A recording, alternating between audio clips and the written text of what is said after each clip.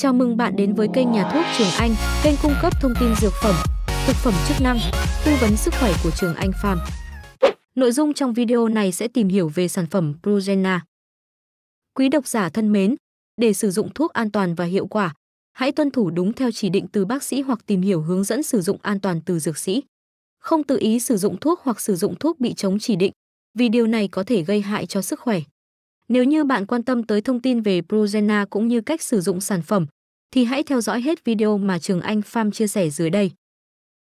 Thành phần Dosilamin succinate Pyridoxin HCl Dạng bào chế Viên nén bao phim Công dụng Thuốc được dùng để giảm tình trạng buồn nôn và nôn mửa trong thai kỳ, chứng nôn ngén.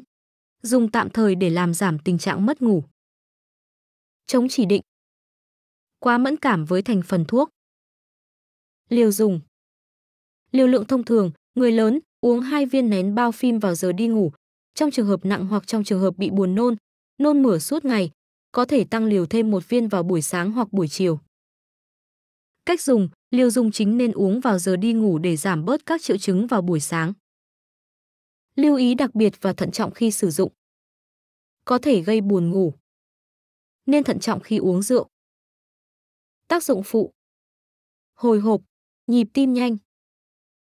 Chóng mặt, mất định hướng, buồn ngủ, nhức đầu, kích thích thần kinh trung ương nghịch thường. Tiểu khó, bí tiểu. Chán ăn, khô niêm mạc, tiêu chảy, táo bón, đau thượng vị, khô miệng. Nhìn mờ, nhìn đôi. Nhà sản xuất. Công ty trách nhiệm hữu hạn dược phẩm Đạt Vi Phú. Hy vọng qua những chia sẻ trong video này của Trường Anh Farm sẽ giúp quý bạn đọc hiểu rõ hơn về sản phẩm Progena, đồng thời biết cách sử dụng Progena sao cho đúng và hiệu quả. Nếu có thắc mắc khác, hãy liên hệ tới bác sĩ điều trị để được tư vấn kỹ hơn nhé. Hãy là người tiêu dùng thông thái trong việc sử dụng dược phẩm để đảm bảo sức khỏe của chính bạn và người thân. Cảm ơn bạn đã theo dõi video.